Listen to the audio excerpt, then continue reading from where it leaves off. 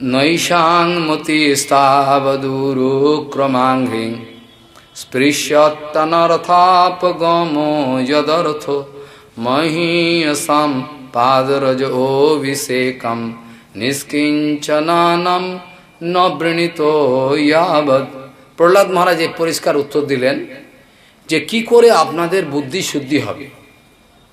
এই যে বুদ্ধিটা আমার আছে, যেতে বহু জন্মের সংস্কার, সেগুলো সব একটা দাগ ফেলে দিয়েছে। ওটা পরিষ্কার হচ্ছে না। চেতদর্পণ মার্জন তো মহাপ্রভু বললেন, কিন্তু বললেই তো আর হয় না। চেতদর্পণ মার্জন, সেটা সাধু সঙ্গে কীর্তন করতে করতে অনর্থ যাবে।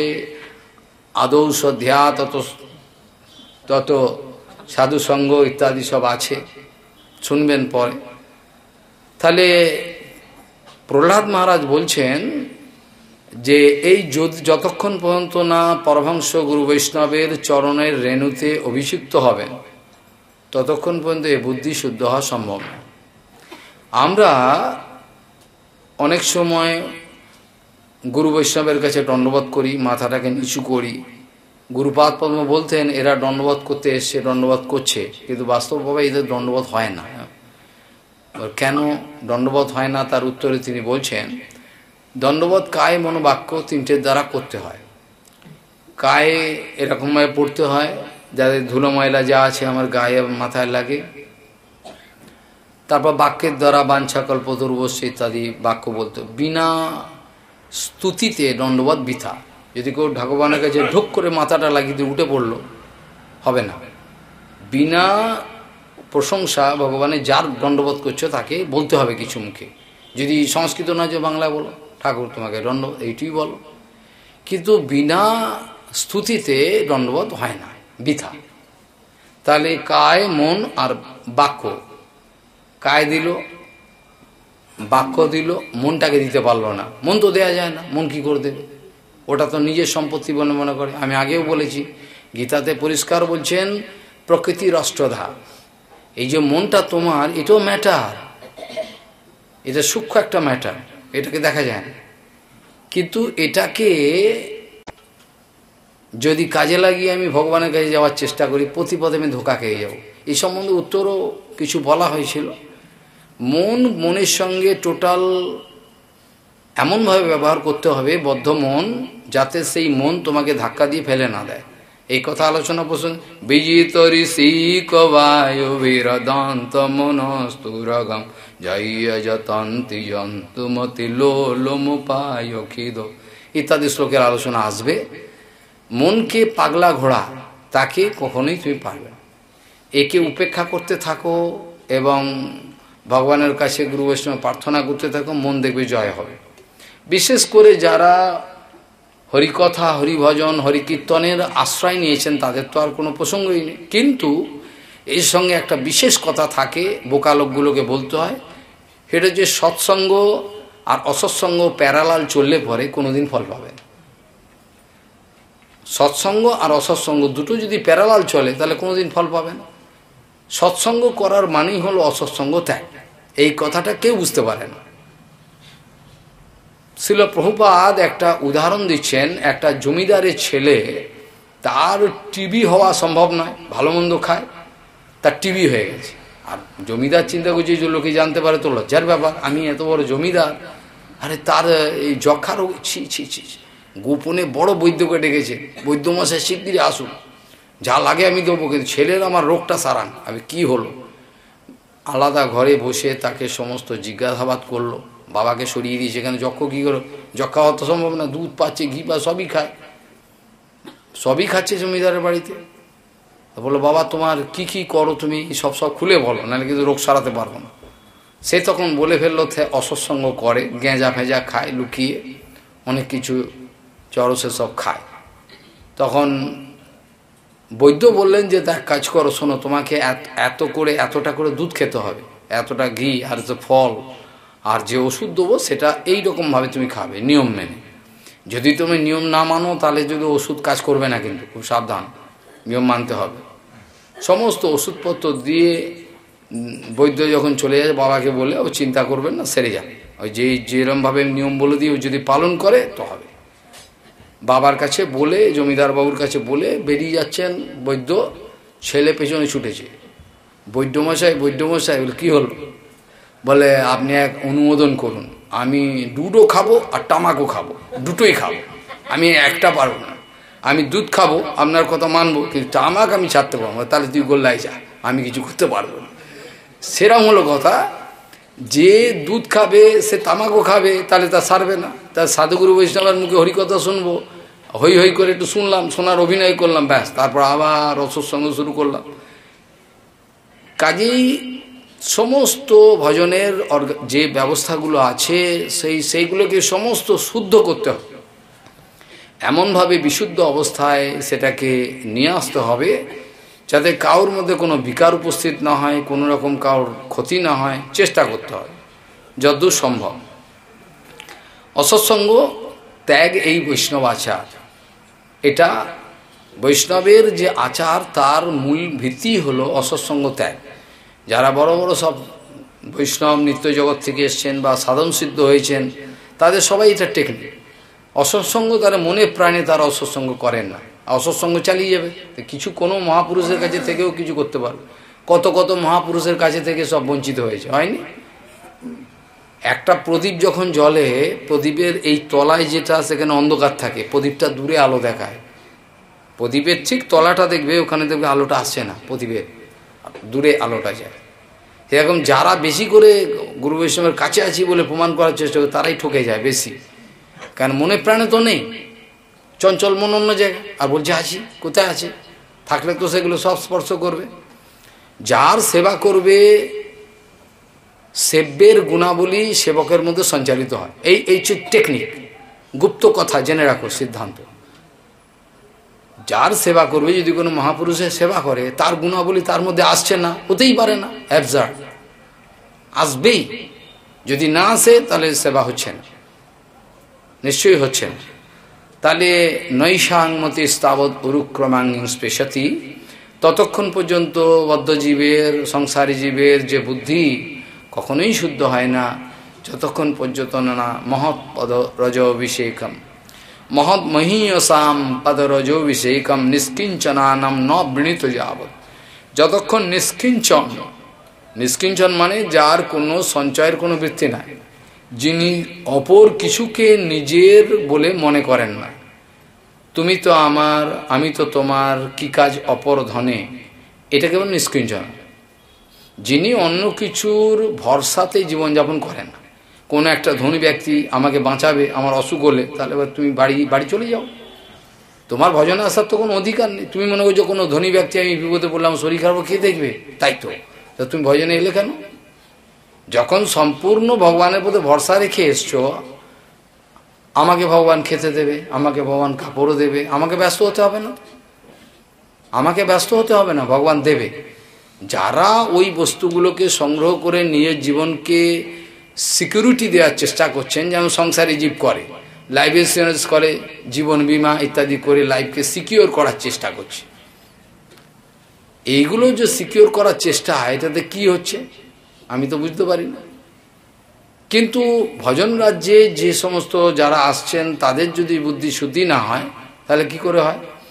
তাহলে ভগবানই একমাত্র আমার সম্পত্তি তিনি যা করার করবেন এরকম আন্তরিক বিশ্বাস যার মধ্যে আছে যিনি অন্য কিছু বস্তুর প্রতি কোনো ব্যক্তির প্রতি ভরসা রেখে ভজনে আসেনি বৈরাগী হইয়া যে করে পরপেক্ষা।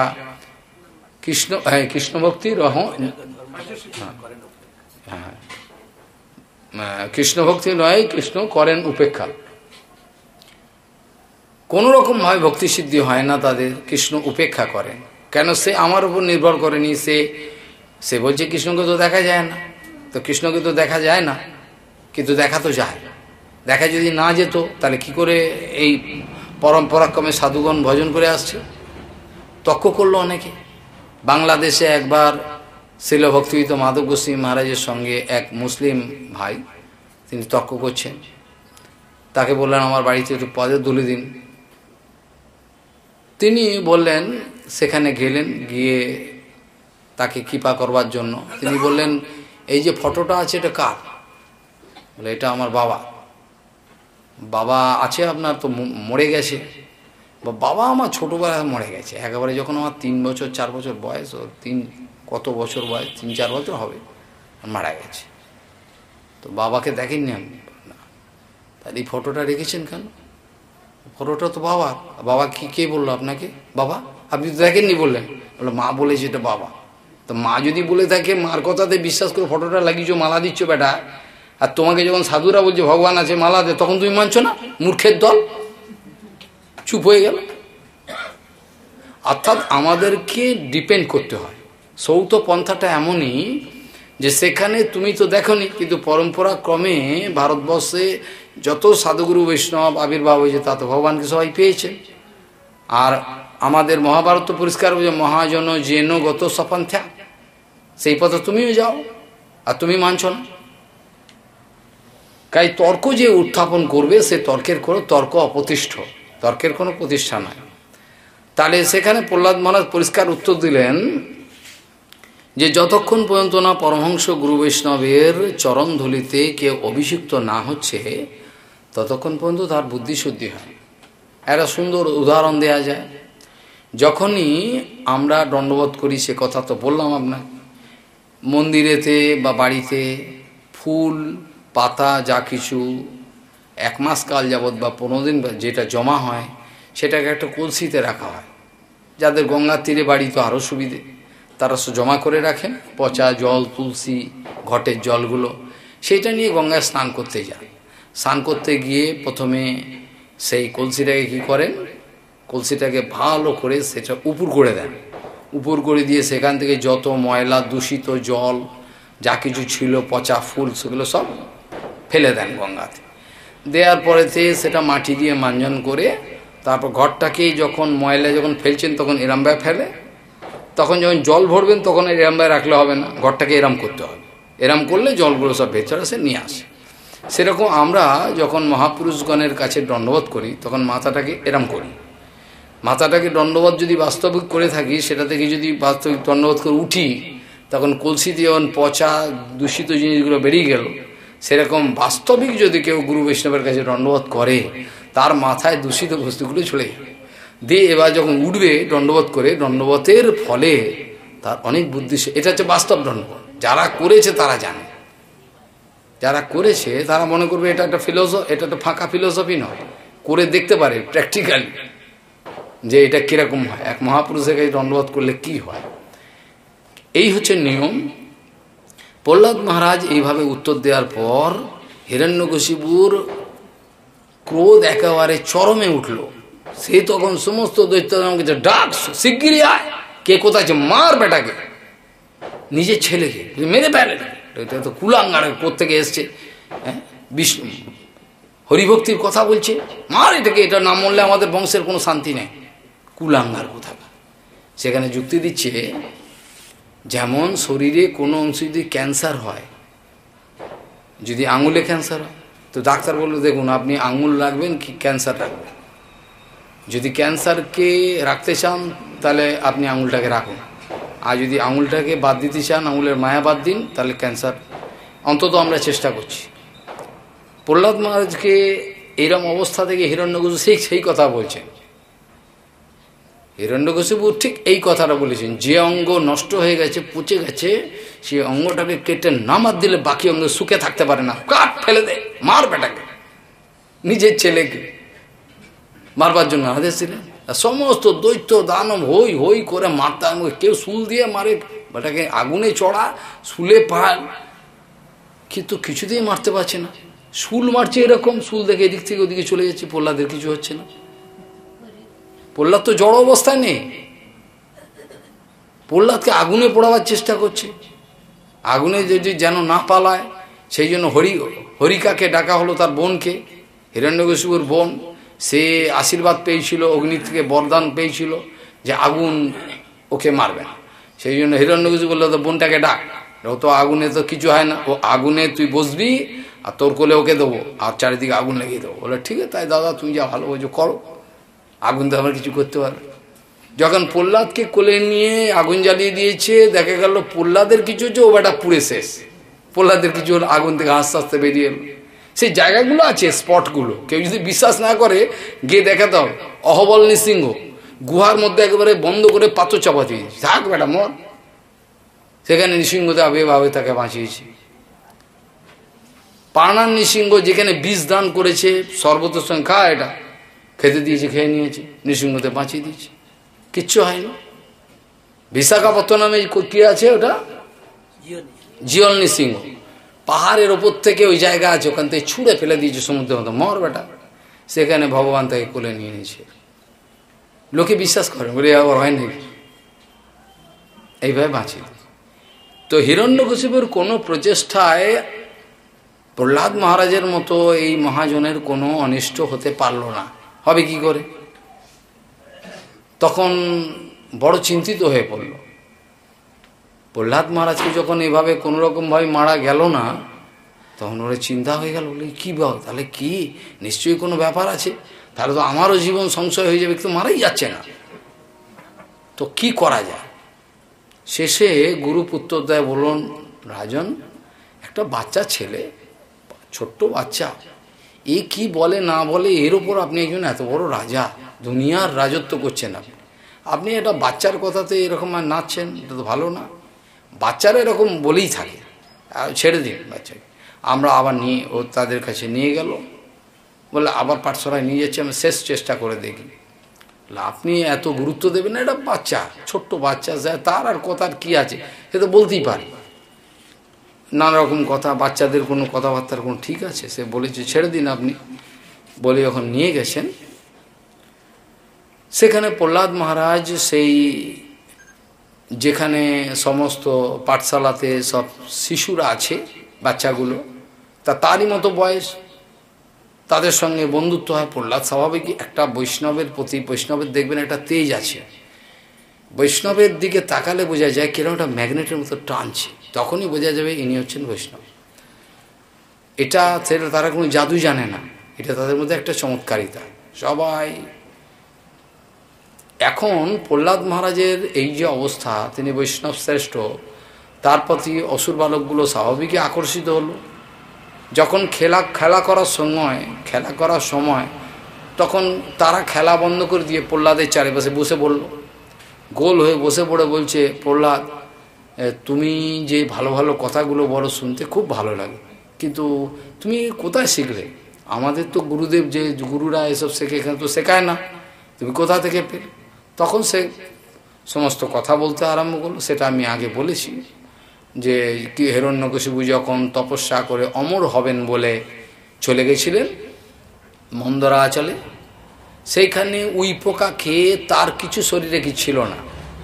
হাড় কখনো রয়েছে আর সে অবস্থায় ব্রহ্মা এসছেন, এসে খুঁজে পাচ্ছেন না, কোথায় রে বাবা? ভালো করে দেখেন ও উই পোকা একবারে কিচ্ছু নেই। তখন ব্রহ্মা নিজের কমণ্ডল থেকে এরম জল ছিটা মারলেন। মারতেই সেখান থেকে, সেই ফেটে সেখান থেকে ঠিক আগের মতো শরীর হয়ে গেল।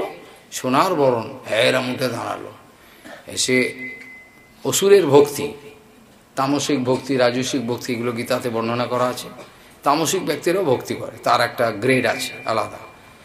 দণ্ডবোধ করলেন, চোখে জল ফেলছেন, কৃপা কি চাও তুমি? বলো আমাকে অমর বর দিতে হবে। ব্রহ্মা এক্সিকিউটিভ আরে, আমি নিজেই অমর নয়, আমাকেও মরতে হবে, আমার আয়ু খুব বড়। ব্রহ্মার আয়ুটা হিসাব করলে আপনার পাগল হয়ে যাবে ব্রহ্মার আয়ু যদি হিসাব করা করতে পারবেন না। হ্যাঁ তাহলে কি করব? বলে, সত্য তেতা দাপর কলি বলে যে যায়, এটা বাহাত্তর বার গেলে পরে এক মন্নন্তর হবে। সেরকম চোদ্দ মন্নন্তর গেলে পরে ব্রহ্মার একদিন হবে। বারো ঘণ্টা। আবার এইরকম সময়টা যখন যাবে, তো রাত যাবে। এইরকম একটা হিসাবে ব্রহ্মা একশো বছর বাঁচে। এবার ক্যালকুলেশন করুন, পাগল হয়ে যাবে। মাথায় খারাপ হয়ে যাবে। আসবে না ফিগার আসবে না না। তাহলে ব্রহ্মা হেসে বলছেন লোমসমুনির কথা ছিল ভক্তি তীর্থ প্রায় বলেন হাসতে হাসতে। এখন তো তিনি অসুস্থ হলে লোমসমুনি লোমসমুনি মানে যখন বলছেন নিজের কথা লোমসমুনির এক একটা করে লোম পড়ে যাবে, একটা করে কল্প চলে যাবে। লোমসমুনি আফসোস করে বলছেন, এই তো দুদিনের জীবন। লোমসমণি বলছেন, একটা করে লোম পড়ে যাবে তার। তার শরীর যত লোম আছে, একটা করে লোম পড়ে, একটা করে কল্প যাবে, একটা করে লোম পড়বে। আর যতগুলো লোম আছে হ্যাঁ? এরকম ভাবে তার পুরো হয়। তাহলে এই যে এই যে বিষয়টা, এটা তো অবাক হয়ে যাচ্ছে। তো লোমসমণি বলছে, এই তো দুদিনের জীবন, কি হবে? আর আমরা মাত্র পুঁটি মাছের মতো, পুঁটি মাছ ফটফট করে বেশি। পুঁটি মাছ দেখবেন যত বেশি ফটফট করে তো মাত্র দুদিনের জীবন, কখন কে চলে যাবে ঠিক নেই। সে এখন চিন্তা করছে এইসব তো এই যে বিষয়টা, চিন্তা করলে দেখা যায় যে যখন ব্রহ্মা এসে বললেন, ব্রহ্মা বলছেন যে আমি নিজেই অমর নয়, তোমাকে কী করে অমর দেবো? যে জিনিস আমার কাছে নেই। তো আমি দিতে পারব না। বলে এইটি আমার চাই। তাহলে আমি তো দিতে পারলাম না। পরবর্তী সময় আবার সেই সেই এরম বলছে, বললে, আমি ব্রহ্মাকে বোকা বানিয়ে আমি ঘুরিয়ে ফিরিয়ে সেই নিয়ে নেব অমরবর শেষকালে ব্রহ্মা এসে বললেন, কী চাও? অমরবর ছাড়া যা চাইবে আমি দেবো। বলে, দেখুন, এক কাজ করুন। আপনি অমরবর তো দিতে পারবেন না বলছে, এক কাজ করুন। বলছেন, আপনার সৃষ্ট কোনো প্রাণী আমাকে মারতে পারবে না। বলছি, তথাস্তু। বা, দিনেও মরবো না, রাতেও মরবো না। তথাস্তু। ঘরেও মরবো না, বাইরেও মরবো না। তথাস্তু। দিনে মরবো না, রাতে মরবো না। তথাস্তু। কোনো অস্ত্র শস্ত্র কোনো কিছু দ্বারা মরবো না। তথাস্তু, যা। বলল বোম্বা বাটা বুড়ো হয়ে গেছে। বুড়ো বোকা বানিয়ে দিলাম। ব্রহ্মাকে বোকা বানিয়ে দিলাম। আমি হ্যাঁ? ব্রহ্মাকে আমি বোকা বানিয়ে দিলাম, ভালোই হলো। আর ব্রহ্মা এখন তথাস্তু করে যার চিন্তা কি? কিন্তু ভগবানের মান হলো দুনিয়ার বাই। ভগবান সমস্ত কিছু করে ঠিক রাস্তা রেখে দেন। এবার হলো, সেটা পরে দেখবেন। এখন প্রহ্লাদ মহারাজ যেসব অপ্রাকৃত উপদেশ দিয়েছেন এটা কিঞ্চিত আলোচনা হওয়া উচিত। প্রহ্লাদ মহারাজকে বাচ্চাগণ যখন জিজ্ঞাসা করছেন, প্রহ্লাদ মহারাজ বিভিন্ন তত্ত্ব উপদেশ করছেন, সেখানে কিছু আমি আলোচনা করব। এটা হচ্ছে অথই জল। এইটা আলোচনা অবশ্যই করা দরকার, নালে কাউর কোনো বাস্তব মঙ্গল হবে না। প্রহ্লাদ মহারাজ এখানে বলছেন, বাচ্চাগুলোকে দেখো যে কৌমার আচরেত প্রাজ্ঞ ধর্মাণ ভাগবতা নিহ, দুর্লভম মানুষম জন্মম, তদপি অধ্রুবম অথ্রদম যদ্যপি এসেওটা দেহটা অধ্রুব মানে নিত্য নয়। স্টিল অর্থদ, এর অর্থ অর্থাৎ এর একটা আউটকাম আছে ভালো, যদি তুমি ইউটিলাইজ করতে পারো। দেখি কৌমার আচরের ধর্ম। অনেকে বলে, এখন কি তোর কি এখন বয়স হয়েছে, মন্দিরে যাচ্ছিস? বিশেষ করে এইসব জায়গা তো আরও বেশি। তো মন্দিরে মন্দিরে যাওয়াটা যেমন লজ্জার ব্যাপার। কিন্তু দক্ষিণ ভারতে বড় বড় সায়েন্টিস্ট তারা অফিসে যাওয়ার আগে সব দণ্ডবোধ করে যায়। আমি অবাক হয়ে যাই। মানে মন্দিরে যাওয়া সাধুর সঙ্গে কথা বলা, এটা যে কী যে একটা লজ্জার ব্যাপার। তারা মনে করে তাদের তাদের প্রেস্টিজ চলে গেল। তা তাদের স্মার্টনেস চলে গেল। আমিও শিক্ষিত ছেলেগুলো যখন সামনে পড়ে, তাদের কাপড় খুলে ল্যাংটো করে দিই। কিছু বলতে পারেন? এই, বস। স্মার্টনেস কাকে বলে বল? তোরা স্মার্টনেস কাকে বলে? বল। ও স্মার্টনেস কাকে বলে? ওই তা, ওরা তো দেখবে।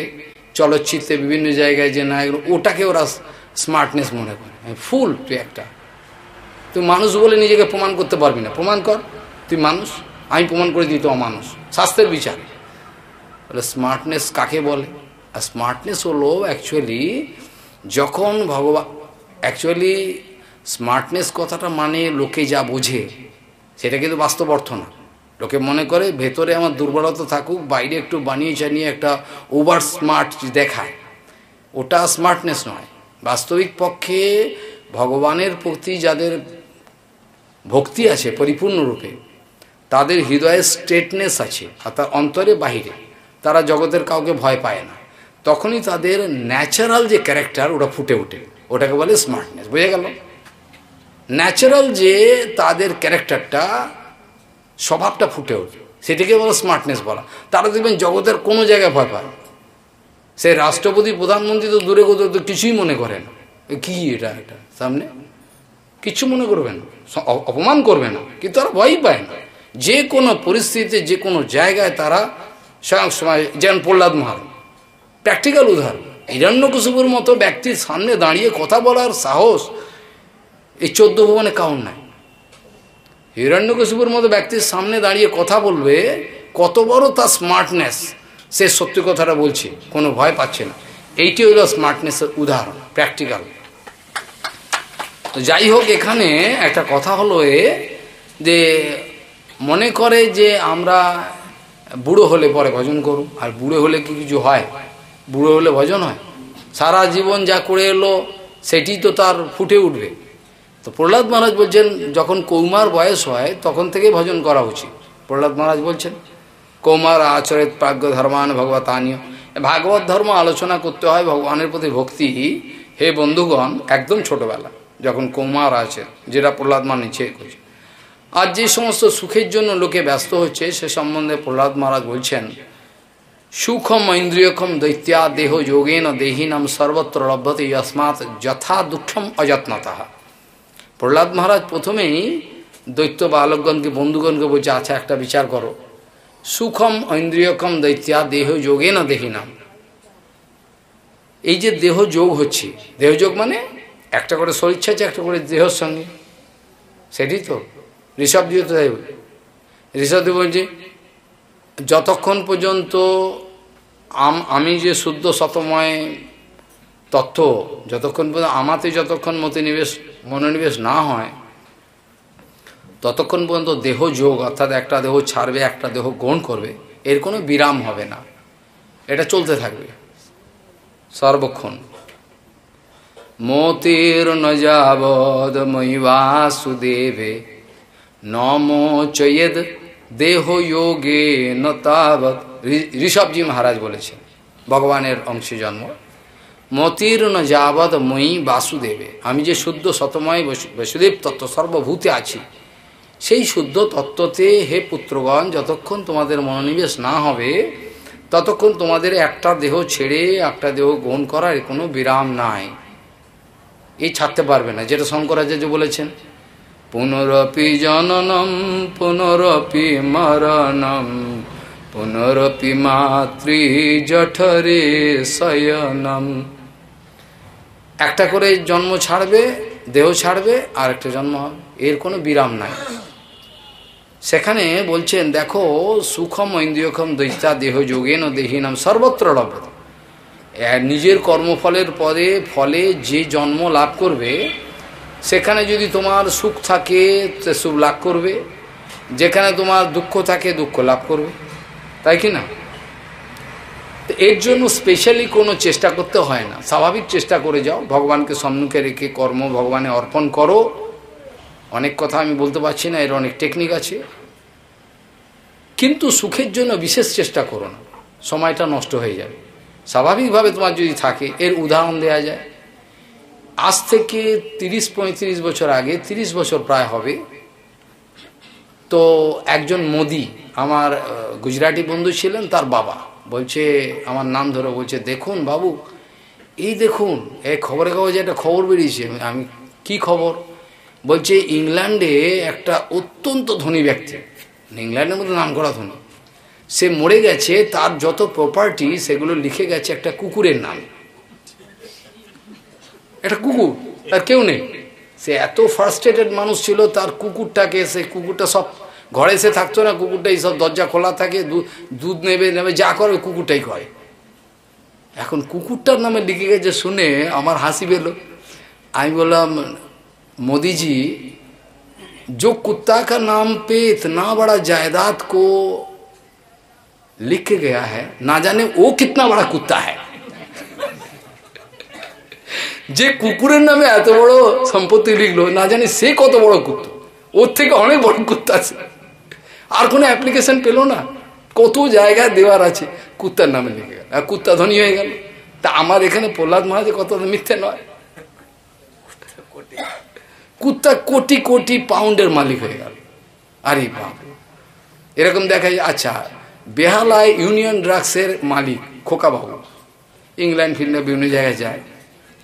আলিপুরে বাড়ি। তার বাড়িতে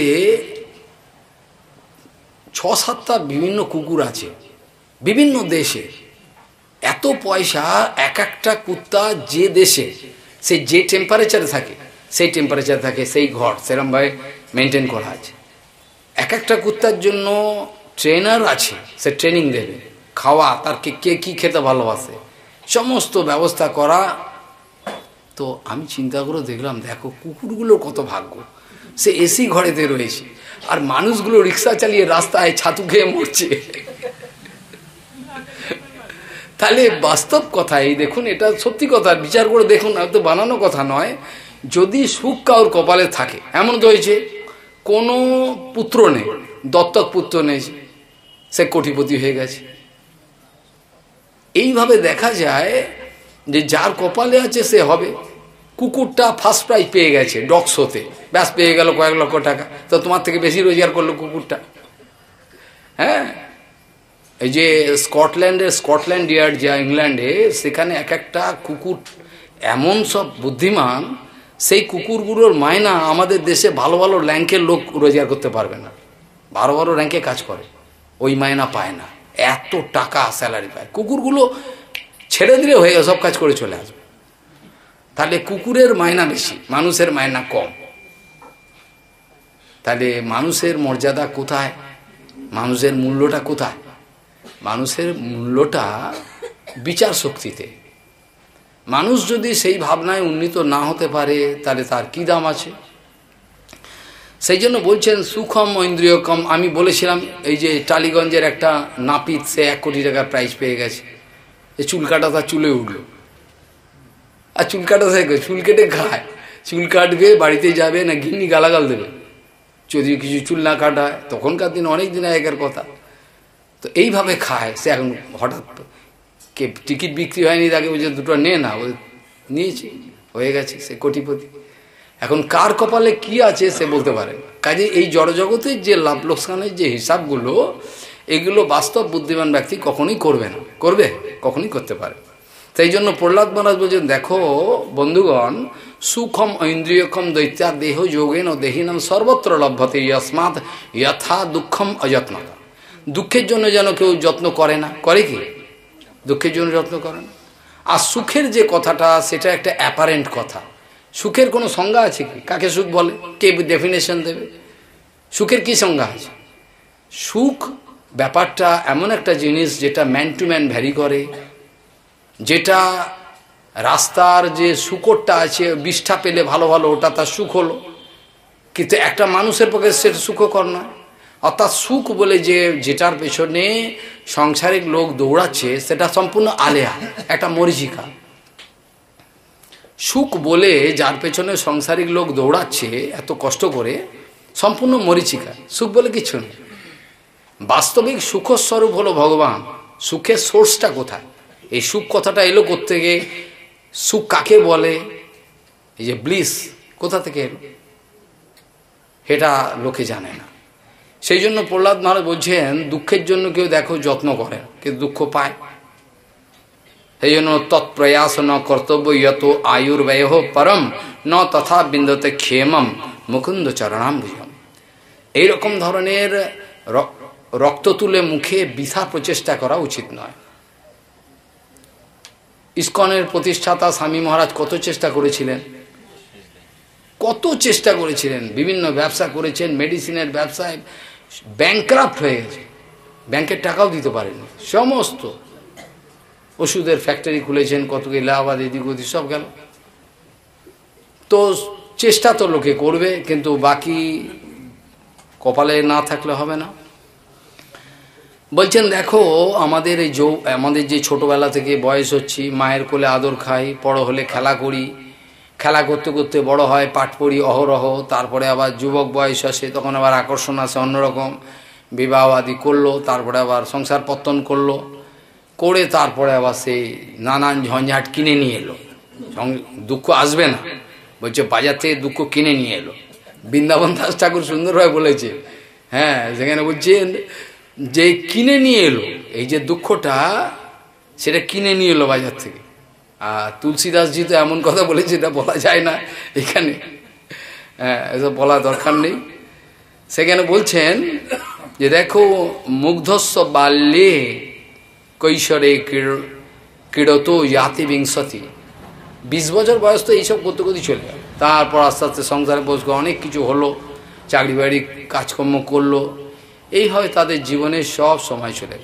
ক্যালকুলেশন করলে পরে, একটা যদি ক্যালকুলেশন করে, তাহলে হিসাব করা যায়, একটা মানুষ যদি ষাট বছর বাঁচে, যদি সাপোজ ষাট বছর যদি বাঁচে, ষাট বছরের মধ্যে কতক্ষণ সময় সে ঘুমিয়েছে, কতক্ষণ সময় সে আজে বাজে কাজে কাটিয়েছে, এগুলো হিসাব করলে দেখা যাবে। যে জীবনের অর্ধেক সময়ের উপরে তো ঘুমিয়ে কাটিয়ে দেয়। ঘুমিয়ে চলে যায়। এই কাম কখনোই পূর্ণ হওয়ার নয়। যার পেছনে লোকে দৌড়াচ্ছে, কাম পূর্ণ করব, মনস্কামনা পূর্ণ করব, সেই কাম কখনোই পূরণ হওয়ার নয়। আর যখন বিবাহ আদি করে, সংসারে যদি ছোটোখাটো একটা বাচ্চা এলো, তা তো আরও ভালো, তখন তো আনন্দ বাড়লো। তখন অফিসে এত কষ্ট করে বাঁদর ঝলা, বিশেষ করে কলকাতা, আদি, ডালাউসে, এসব জায়গা গেলে গেলে ফেলবেন ঝুলে ঝুলে আসছে অফিসে, বাঁদরের মতো। অফিসে গিয়ে অফিস ফফিস করে, সেসব লড়াই, ঝগড়া করে, আবার সেই বাড়ি এলো। বাড়ি এসে যে অফিসের এত ধাক্কা, রাস্তার এত কষ্ট, সব ভুলে গেল। কেন প্রিয়া চায়ের পেয়ালাটা নিয়ে বসে রয়েছে। ওগো, এসে গেছো? বা ধুয়ে না পেয়ালাটা দিল, চায়ে চুমুক দিল। তারপরে তো বাচ্চাটা আছে বাপ্পা পাপ্পা তাক তাক করতে করতে সামনে এলো। বলে হ্যাঁ তার কষ্ট সব চলে গেল। আর কিসের কষ্ট? কষ্ট নাকি কতগুলো মূর্খ লোক আমাকে বলেছে, মহারাজ, যখন দেখি বাচ্চাটা সামনে এলো, বাবা বাবা, তখন সব কষ্ট চলে গেলাম। বাহ, খুব ভালো খুব ভালো করে সংসার করো তুমি। আমি আদর করে বললাম, খুব ভালো, তোমার লক্ষণ খুব ভালো, তুমি করো সংসার। তো এখানে প্রহ্লাদ মহারাজ এই কথাগুলো আমি যেগুলো বলছি এগুলো সবই প্রহ্লাদ মহারাজের কথা। প্রহ্লাদ মহারাজ বলছেন, কথং প্রিয়ায়া অনুকম্পিতায়া সংযম রহস্যম রুচিরাংশ মন্ত্রান। প্রহ্লাদ মহারাজ বলছে, কথং প্রিয়ায়া অনুকম্পিতায়া সংযম রহস্যম রুচিরাংশ মন্ত্র গোপনে দু চারটে গুপ্ত কথা হলো, কত মজা হলো, আনন্দ বিস্তার হলো। প্রহ্লাদ মহারাজ বলছে, আর সুহৃৎসু তৎস্নেহ হসিত শিশু নাম কলাক্ষরানাম, অনুরক্ত চিত্ত। যদি একটা বাচ্চা থাকে, তার কথাবার্তা শুনে তো আরও আনন্দ হলো। কথং প্রিয়ায়া অনুকম্পিতায়া সংযম রহস্যম রুচিরাংশ্চ মন্ত্রান শ্রুহিত সুতৎস্নেহ হসিত হো শিশূনাম। কলাক্ষরানাম অনুরক্ত চিত্ত। প্রহ্লাদ মহারাজ বলছেন এইসব সংসারে যদি এত পরিশ্রম করে এসছে, একটু গোপনে যুগে হ্যাঁ গো কি গো করল, ব্যাস, কষ্ট সব চলে গেল। বাবা মা এলে বিপদ, তারা শিগগিরি থাকলেই সংসারে অশান্তি। বুড়ো হাবড়া হয়েছে, বসে বসে খায় খালি। এই গালাগাল বাবা সব করল তোকে, তুই মানুষ করল, সব কিছু করল, আর বাবাকে খেতে দেবেন। গালাগাল, কি করবে? এইরকম ভাবে দুঃখের ইতিহাস, এগুলো হাসির কথা নয়। প্রহ্লাদ মহারাজ প্রমাণ করছেন, দেখো বন্ধুগণ, তুমি চিন্তা করে দেখো, এত কষ্ট লোকে করছে। কিন্তু হরিভজনের মতো এত সোজা জিনিস আছে কি? প্রহ্লাদ মাস প্রমাণ দিচ্ছে। প্রহ্লাদ মাস যে দেখো, এত কষ্ট লোকে করে, কিন্তু হরিভজন এত সোজা। হরিভজন সোজা কেন? সোজা বুঝতে পারছ না? নহি অচ্যুতম প্রণয়ত বহবায়াস সুরাত্মজা। আত্মত্যাৎ সর্বভূতানাম, সিদ্ধিত্যাৎ ইয় সর্বত। হরি তো সর্বত্র রয়েছে, তোমার ভেতরেও রয়েছে। কোথায় হাত পাতে যাচ্ছে এরম করে? হরিভজন সবচেয়ে সুবিধা কেন? হরি তো আমার ভেতরে রয়েছে, ব্যাস হয়ে গেল কনসেন্ট্রেশন করো। এত সোজা কর্মটা হরিকে সন্তুষ্ট করার মতো সোজা কাজ নাই, কিন্তু ওটা করতে পারবে না, সব বাহাদুরি দেখাতে পারবে। হরিকে সন্তুষ্ট কেউ করতে পারে না, চাইছে না। মায়া ভগবানের, নহি অচ্যুতম প্রণয়ত অচ্যুতকে ভগবানকে সন্ত প্রণয়ত বহবায় আসো সুরাত্মা বেশি প্রচেষ্টা করতে হয় না হে সুরাত্মজগণ হে বন্ধুগণ কারণ আত্মত্যাত আত্মা যেমন ঈশাবাস্যমিদম সর্বম যৎকিঞ্চিত জগদম জগৎ বলো উপনিষদে আবার সেটা আলাদা আমি তো সেটা বলছি না আমার বলার বক্তব্য আলাদা আত্মাবাস্যমিদম সর্বম যৎকিঞ্চিত জগতম এটা ভাগবতের কথা ওটা উপনিষদের কথা ঠিক সিমিলার শ্লোক রয়েছে ভাগবতে। আত্মা অবশ্যমিদম সর্বম যৎকিঞ্চিত জগতম। সমস্ত জগতে আত্মায় ভর্তি, তুমি দেখতে পাচ্ছ না। এই যে যত আছে স্পেস সব জায়গায় আত্মা ভর্তি আছে। যখনই তার কর্মর ফল অনুযায়ী তাকে জন্ম নিতে হবে, সেই আত্মা কি করবেন? সেই বৃষ্টির সঙ্গে ফসলের ভেতর ঢুকে যাবে। ফসলের ভেতর থেকে এবার যে পুরুষ খাবে তার তার এবার তৈরি হবে শক্তি, বীর্য। এইভাবে গীতাতে এমন সুন্দর সাইন্টিফিক মানে আপনার অস্বীকার করার কিছু উপায় নেই, পাগল হয়ে যাবে। কি বিজ্ঞান ভিত্তিক বিচার, পাগল হয়ে যাবে। লোকগুলো কি সব জ্ঞান লাভ করার জন্য বাজারে দৌড়াচ্ছে? পরিষ্কার প্রমাণ দিয়েছে, এইভাবে সে শুক্ররূপে আধান লাভ করে গর্ভে, তারপর সে সন্তান হয়। তাহলে কীভাবে আত্মা চারিদিকে রয়েছে, কিন্তু দেখতে অব্যক্ত গতি। তাহলে দেখো, ভগবান সর্বত্র রয়েছে। ভগবান প্রহ্লাদ মহারাজ সর্বত্র রয়েছে, এটা ভগবান কোথায় নেই? বলছে, যদি অনুপরমাণু হয়, এই যে যত ধুলিকণা আছে রাস্তায় পড়ে, সেই ধুলিকণার ভেতরে ভগবান আছে। কেউ বিশ্বাসই করবে না। এমন কোনো বস্তু নাই যেখানে ভগবান নাই, কিন্তু সবার কাছে প্রকাশিত হবেন না। এইভাবে প্রহ্লাদ মহারাজ সুন্দর করে স্তব করে তাদেরকে বোঝাচ্ছেন। তারপরেতে বললেন যে, পিতা যখন এরম ভজন করতে গেছিল জঙ্গলে তখন আমার মাতাকে ধরে নিয়ে গেছিল। এইসব ঘটনাগুলো আমি কালকে বলেছিলাম। এখানে অসুর যখন এরকমভাবে উৎপাত সৃষ্টি করল, বিরাট, কিছুতেই দেখা গেল, কিছুতেই দেখা গেল হিরণ্যকশিবু কোনো মেনে নিতে পাচ্ছেন না প্রহ্লাদ মহারাজের অবস্থাটাকে। প্রথমে তো মার মার ধর করে পরে এইসব ঘটনা ঘটলো, সব কথা বললাম। যে সমস্ত গুরু ছিলেন যারা ষণ্ডমর্গ বললেন, রাজন, আপনি একজন ত্রিভুবনের রাজা। একটা বাচ্চা ছোট বাচ্চা একটা বলতেই পারে কত রকম কথা। তাতে আপনি এত মূল্য দিচ্ছেন কেন? তাদের কথাতে সে একটু শান্ত হয়ে যা আবার পাঠালো। কিন্তু কিছুতেই প্রহ্লাদের হরিভক্তিকে ছাড়াতে পারল না। যখন ছাড়াতে পারল না, তখন শেষ সময়ের জন্য বলছেন, যে এই যে তুই কার বলেতে আমার সামনে বসে এরকম ধরনের বড় বড় কথা বলতে পারছিস, আমার সামনে তো কেউ দাঁড়াতে পারে না ভয়েতে। ত্রিভুবন কম্পিত হয় আমার সামনে দাঁড়ালে এরকম কাঁপতে থাকে। কার সাহসে পড়ে তুই এরকম ধরনের এরকম দাঁড়িয়ে একটা বাচ্চা তুই এরকম কথা বলছিস? হাত জোর করে বলছেন, যার শক্তিতে জগৎ সব শক্তি পাচ্ছে যার শক্তিতে আপনি শক্তি পাচ্ছেন, এই চুপ! তার শক্তিতে আমি কথা বড় বড় কথা। কেটে উড়িয়ে দেবো। গলা কেটে উড়িয়ে দেবো শরীর থেকে। দেখবি? কে রক্ষা করে তোকে? দেখি। বড় বড় কথা। যার শক্তিতে জগৎ শক্তি পাচ্ছে, যার শক্তিতে আপনি শক্তি পাচ্ছেন, সেই শক্তিতে আমি কথা বলছি। এত বড় কথা। কং হারামি, তোর গলা আমি কেটে উড়িয়ে দেবো। হ্যাঁ দেখি। বলে একেবারে উঠেছেন। বল। মনে বলছেন ভগবান কোথায়? বলতে হবে তোকে।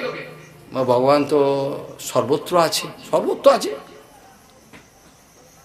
ভগবান সর্বত্র আছে। ভগবান সর্বত্র আছে। এই খাম্মাতে আছে? এই খাম্মাতেও আছে। শান্ত হয়, কেন স্মার্ট দেখুন। কোনো ঘাবড়ে যাচ্ছে না। এটাকেও স্মার্টনেস বলে অ্যাকচুয়াল ডেফিনেশন এই খাম্মাতেও আছে। খাম্বাতে যদি আছে সঙ্গে সঙ্গে কী করলেন? এক মুষ্ঠাঘাত করে দুম! হিরণ্যকশুর মুষ্ঠাঘাত যেন মনে হলো একেবারে ভূমিকম্প হচ্ছে চারিদিকে। সঙ্গে সঙ্গে সেই ফেটে গেল সেখানে। আর ফেটে গিয়ে কি হলো? সেখান থেকে হা হা করতে করতে নৃসিংহদেব এরাম বের হলেন। জটা জুতো একবারে চারিদিকে যেন মনে হচ্ছে ধোঁয়ার মতো। জয় ভগবান নৃসিংহদেব! আশ্চর্য ভাবা। বলে এখান কসমাৎ ন দৃশ্যতে স্তম্ভে স্তম্ভেতে দেখা যাচ্ছে না কেন, যখনই বলল, স্তম্ভে দেখে না, কসমাৎ স্তম্ভে ন দৃশ্য স্তম্ভে কেন দেখা যাচ্ছে না? বলো, স্তম্ভে তো আছে। তখন এরকম যখন মারল, তখন কি হলো? সত্যম বিধাতুম নিজ ভীতভাষিতম ব্যাপ্তিঞ্চ ভূতেষু অখিলেষু অদৃশ্যতাত্মাদ্ভূতরূপমুদ্বহন স্তম্ভে সভায়ম ন মৃগম ন মানুষম সত্যম বিধাতুম নিজ ভিত্ত ভাষিতম নিজের ভিত্ত নিজের যে সেবক নিজের যে ভক্ত এই যে বলেছেন স্তম্ভেতে আছে, ভগবান তো সত্যিই আছে সব। সেখানে বলছেন, সত্যম বিধাতম নিজ ভিত্ত ভাষিতম নিজের এই ভিত্তের কথাটাকে সত্য প্রমাণ করার জন্য নৃসিংহদেব কী করলেন? সেইখান থেকে সমস্ত ভূতে তিনি আছেন। এটা প্রমাণ করার জন্য বেরিয়ে পড়লেন। কিন্তু একটা অদ্ভুত রূপ। ই আবার কি? আর্ধেক পশুর মতো নৃসিংহ, আর্ধেক আবার মানুষের মতো। হিরণ্য হিরণ্যকশিপু ওটা দেখে পাগল হয়ে যাবে। কোথাকার কি? দেখে তো পাগল লাগে। আর্ধেক নিশি আর্ধেক দেখা যাচ্ছে সিংহের রূপ। আর্ধেক মানুষ তো কোনোদিন দেখিনি। নায়ং মৃগ নাপি নর বিচিত্র মহ কিম এতৎ নিবেগেন্দ্র রূপম হিরণ্যকশিপু বলছেন এ কি নায়ম মৃগ এ তো সিংহও নয় আবার মানুষও নয় বিচিত্র মহ এ আশ্চর্য একটা রূপ দেখছি কিম এতৎ নৃমেগন্ধ রূপম এটা মৃগ আর মানুষ দুটোর মাঝখানে একটা কীরকম অদ্ভুত এরকম সে বিচার করতে আরম্ভ করল। এটা তো কোনোদিন হয় না। এটা কীরকম ধরনের প্রাণী একটা বেরোচ্ছে এইখান থেকে? এইখান সে বিচার করতে আরম্ভ করল। মীমাংস মানস্য সমর্থিত অগ্রতে নৃসিংহ তদলম ভয়ানকম। নৃসিংহ রূপ প্রকট করলেন ভগবান। এই যখন এই মনের মধ্যে খালি একটা বিচার করছেন, এটা কি হলো? এটা কে? এরা মীমাংস তো মধ্যে এটা সলিউশন বার করার চেষ্টা করছে তো হলো না। তখন দেখে সম্মুখে দেখছেন ধোঁয়ার মধ্যে থেকে সে বেরিয়ে নৃসিংহদেব সামনে আসছে। নৃসিংহদেবকে যখন দেখল, বলে অর্ধেক মানুষ অর্ধেক সিংহ এবার কেমন হলো? বলে, কেরাম ভাই বেরোলেন? বলে, কেরাম রূপটা? সেখানে বলছেন প্রতত্ত চামি করচণ্ড লৌচলম প্রতত্ত চামি করচণ্ড লোচনম স্ফুরত সটা কেশর জিমৃতাননম করাল দংষ্টম করবাল চঞ্চল খুরান্ত জিহ্বম ভ্রুকুটি মুখোলবণম স্তব্ধোধকর্ণম গিরিকন্দরাদ্ভূত ব্যক্তাস্য ব্যক্তাস্য নাশম হনুভেদ ভীষণম এভাবে বর্ণনা করছে। বলছে, মনে হচ্ছে যেন সূর্য উঠেছে, এরকম চোখটা জ্বলছে, এরকম। প্রতপ্ত চামি করচণ্ড লোচনম, প্রচণ্ড তাপ চোখে এরকম জ্বলছে। আর কেশরগুলো এরকম উঠছে হাওয়াতে, এরকমভাবে। স্ফুরত সটা কেশর জিম্বিতা আননম আ করে এরকম করেছে, মুখ হা করছেন করাল দঙ্গা দাঁতগুলো মনে হচ্ছে যেন করাতের মতো। করাল দংষ্টম, করবাল চঞ্চল খুরান্ত জিউভাম খুর যেমন খুর কাটে তার থেকেও মনে হচ্ছে একেবারে সার্ফ জিউহা জিউহাটা লক লক করছে। করাল দংষ্টম, করবাল চঞ্চল, খুরান্ত জিউহম আর ভুকুটি এরকমভাবে যখন মোতাটা পাকিয়ে যেরম করে, তখন তো ভয়েতে হয়ে, আর কান দুটো এরকম সোজা। ভয়ে মনে হচ্ছে যেন কান দুটো আর গলা এইসব দেখে মানে বিরাট পাহাড়ের যেন একটা কি একটা অংশ। গিরিকন্দর অদ্ভুত মুখটা হাঁ করেছে মনে হয় গিরির গহ্বর। এইভাবে যখন হলো হিরণ্যকশি বলল, তো এবার লড়াই লেগে যাবে? হিরণ্যকশি এবার অস্ত্র খুললো, দাও, কে যে সে আসুক, এ তো কিছুই না, আমার কাছে কি এটা? এত অর্ধেক সিংহ অর্ধেক মানুষ, এ তো কেটে উড়িয়ে দেবো আর লড়াই আরম্ভ। লড়াই আরম্ভ করল এমন যে কল্পনা করা যায় না। বিভৎস লড়াই। লড়াই হতে হতে ভগবান কি করছেন? যেমন ইঁদুরকে বেড়াল যেমন ধরে টুক করে ধরে আবার একটু ছেড়ে দেয়, আবার দৌড়া আবার দিয়ে ধরে। বেড়ালগুলো দেখুন মজা করে। ঠিক এরকম। নৃসিংহ যেমন ধরছে, আবার ছেড়ে দেয়। যা, আবার যেন আসে লড়াই আবার ধরে। আবার এইরকমভাবে লড়াই চলল। করতে করতে শেষে যখন আর বেশি লড়াই করা ভালো না, সময় নষ্ট হবে, বেকার। তখন কি করলেন? তখন সোজা এরম ধরে এরকম বসালেন উড়ুতে। উড়ুতে এরম নিয়ে বসলেন। বলে, কোথায় বসলেন? বলছেন, ঠিক ঘরেও না, বাড়ি, বারান্দায় বসেছেন চৌকাটে ঘরেও না, বাইরেও নয় আর সন্ধ্যাকালে, যখন দিনও নয় আর রাতও না। এরম অবস্থা। এবার পেটটাকে কী করলেন? এইরকমভাবে ফেড়ে, ফিনকি দিয়ে রক্ত, আর ফিনকি রক্ত নৃসিংহদেবের চারিদিকে এরম শোভিত হলে ছিটে গেছে। এক ফাড়াতে সম্পূর্ণ একবারে হয়ে গেল। হিরণ্যকশিপুকে এইভাবে তিনি উদ্ধার করলেন, করে তার ভেতর নারী ভুড়ি এরকম নিয়ে অন্তমালা বিভৎস ভয়ে তো সবাই কাছেই আসে না। দেখুন, ব্রহ্মাজি যত বর দিয়েছে, সেটাকে সব সত্য করলেন। না দিনে মরল, না রাতে মরল, না ভগবান ব্রহ্মার কোনো প্রাণী নয়, ব্রহ্মার দ্বারা শিষ্য নয়, ভগবান তো ভগবানই। কোনো অস্ত্র শস্ত্রের দ্বারা মানল না নখ দিয়ে মারল।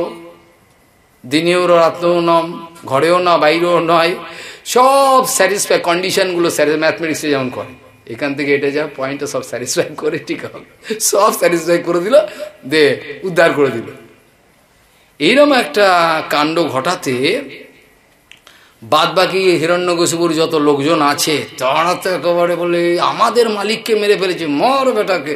এক একটাকে এইরকমভাবে নৃসিংহদেবের কাছে তরোয়াল খুলে মারতে যাচ্ছে নৃসিংহদেব। নৃসিংহদেব যেমন ইঁদুর ধরে, এরম ধরছে, এরম ফেলেছে, এরম ধরছে, এরম ফেলে ইঁদুর ছুটে আসছে ইঁদুরগুলো। ধরছে এরম ফেলে সব শেষ। তখন ভগবান এবার কি করলেন? সমস্ত এই ক্রোধ তার রয়েছে। এই অবস্থায় গিয়ে কি করলেন? এবার বসলেন এক জায়গায়।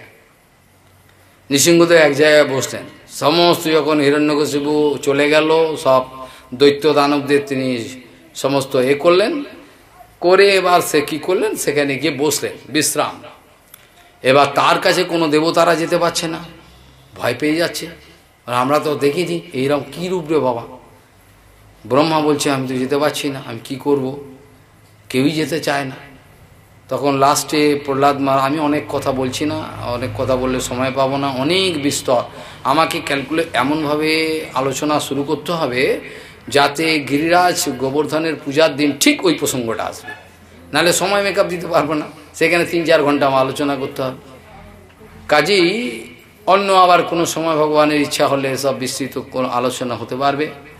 তো সেখানে যখন ব্রহ্মা যেতে পাচ্ছেন না, ভয় পাচ্ছেন, এইভাবে প্রহ্লাদ মহারাজকে বললেন, বাবা, তোমার জন্য প্রভু নৃসিংহরূপ ধারণ করেছেন। তুমি গেলে ভালো হয়, তুমি যাও, তুমি গেলে ভালো। এইভাবে যখন তাকে বললেন, প্রহ্লাদ মহারাজ স্মার্ট এইটি প্রমাণ হয়ে গেল। ব্রহ্মাও স্মার্ট হতে পারেনি। প্রহ্লাদ মহারাজ স্মার্ট দত্তর করে চলে গেল গিয়ে নৃসিংহদেবের কাছে আমরা দাঁড়িয়েছি। নৃসিংহদেব এরমভাবে চুপ পাকাচ্ছে আর হাত দুটোকে কি করল? এরমভাবে ওর মাথার ওপর রাখল। এই তো সামনে নৃসিংহদেব সামনে গেছে। কেউ যেতে পারছে না। বাচ্চা চলে গেছে। বাচ্চা গিয়ে বাচ্চার মাথায় হাত রাখল। বাচ্চার মেয়ে আদর করল। কোলেও নিয়েছে ফটো আমরা পাই। এইভাবে প্রহ্লাদ মহারাজকে আদর করলেন। ভক্তকে ভগবান যে কত ভালোবাসেন, তার যদি একটু আপনারা খোঁজ খবর পান তাহলে সমাজের কাউর সঙ্গে আপনাদের আর সম্মত রুচি হবে না। রুচি হবে না। যেসব আকর্ষণীয় বস্তুগুলোতে সব লোক দৌড়াচ্ছে, তাদের রুচি হয় না। আমাদের রূপগোস্বামীপাদ যে কথা বলেছেন, সেটা জগতে ইভলিউশন আনবে।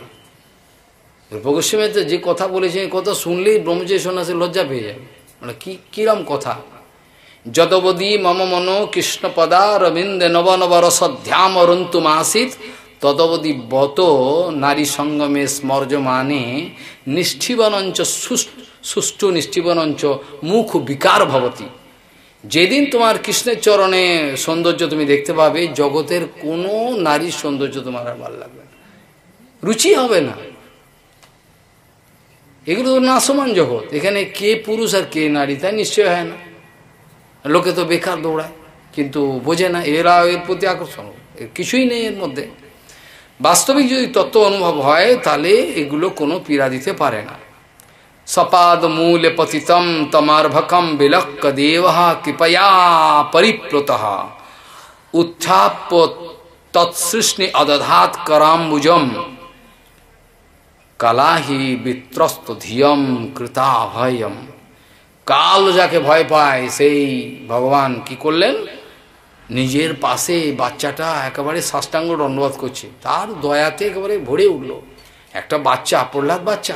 সে দেখছে যে আমার নৃসিংহদেব দিয়েছে আমার সামনে দণ্ডবাদ হয়ে পড়েছে। কাতর ভাই দণ্ডবাদ করছে। তাকে ভাই তুলে নিলেন। তুলে নিয়ে বসিয়ে মাথায় হাত দিলেন। এইরকমভাবে ভগবান তাকে আদর করলেন। কত স্নেহ দেখালেন। জিব্বার করলেন, চাটছেন। দেখবেন একটা লক্ষ্য করে যত পশু আছে, পাখি আছে, তাদের প্রত্যেকেরই একটা নিজ নিজ স্নেহ আছে, নেই? যদি স্নেহের এই বন্ধন না থাকতো, কেউ কেউ সংসার করতো? অ্যাট্রাকশান স্নেহ, এগুলো থাকবে।